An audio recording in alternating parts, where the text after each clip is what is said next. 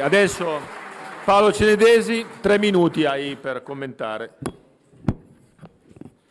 Sì, grazie. Beh, intanto io ringrazio la Lega di avermi dato la possibilità di partecipare ad un tavolo così importante per il Nord e soprattutto per la mia Liguria. Io sono della Liguria. E domenica scorsa noi con il nostro segretario nazionale Viale abbiamo fatto l'Assemblea nazionale come molti di voi e i temi trattati nel mio tavolo, quello di ieri, erano sicuramente tra i più gettonati e sono, e sono quelli su cui sono state anche presentate più mozioni. I comuni liguri chiedono a gran voce l'allentamento del patto di stabilità.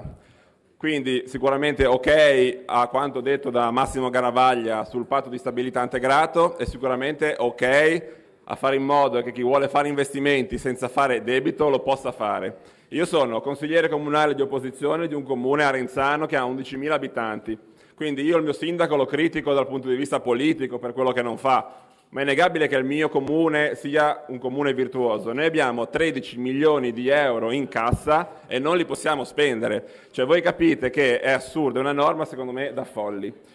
Quindi patto di stabilità secondo me deve essere il primo punto di un qualsiasi programma di qualsiasi partito politico.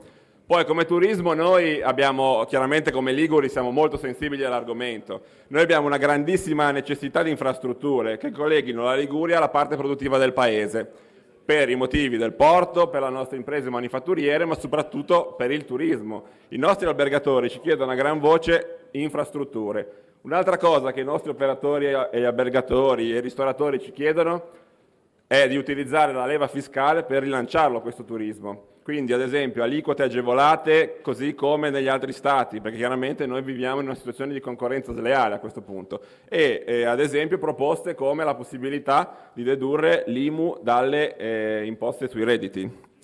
Infine vado a chiudere l'autonomia portuale. Ieri ne abbiamo discusso. E sulla mozione poi ho letto che è stato messo a prevedere agevolazioni fiscali. Noi più che agevolazioni fiscali chiediamo l'autonomia fiscale.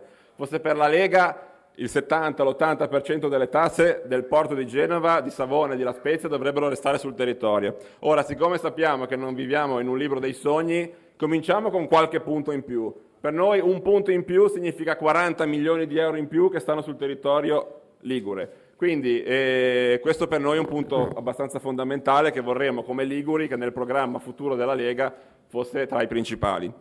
Quindi chiudo e dico che in un paese che da sei mesi non fa altro che parlare di Berlusconi e del congresso del PD, credo che ieri e oggi come Lega abbiamo segnato un nuovo punto di merito e che i punti, eh, parlando di questioni concrete, che magari poi dai media non vengono riprese perché sono interessati più a parlare di altro. Quindi è fondamentale che questi tavoli vengano fatti anche più spesso e dovranno essere alla base sia del programma della Lega, ma sia del progetto di macro regione. Grazie.